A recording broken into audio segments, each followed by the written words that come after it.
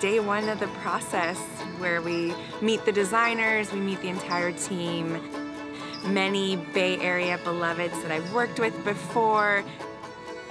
It's an honor to return home to Cal Shakes. What light through yonder window breaks? It is the east, and Juliet is the sun. El sol entero, arise, fair sun, and kill the envious moon who is already sick and pale with grief. Ah, to be back, to be back with actors and seeing them and, and rehearsing.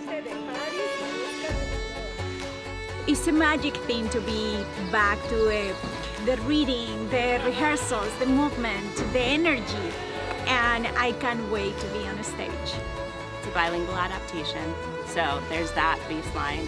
It's also more than two years in the making, so that feels you know, so significant and meaningful. And we have this incredible cast of Latinx artists who are here to bring this story to life. Be merry. Más alegría, muchacho! We're going to be telling it in a way that I think no one's ever heard before, you know, so it'll be like listening to it for the very first time.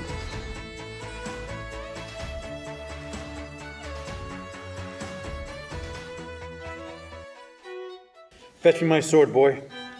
Que este infame miserable se atreviera a venir enmascarado a burlarse de nuestra solemne fiesta? Now by the stock and honor of my kin to strike them dead, I hold it not a sin.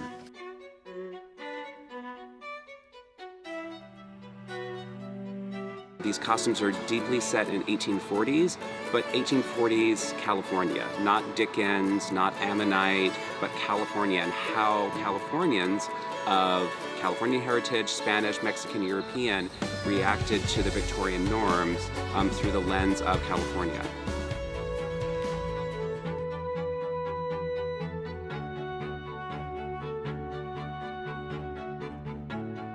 I'm so excited to get back to Cal Shakes. I fell in love with this theater, with the space, with the company when I directed Quijote Nuevo. For the last two and a half years, I've been holding my breath to come back, and I, I'm just thrilled to be back with Cal Shakes. I love this company. El amor pica como una espina. If love be rough with you, be rough with love.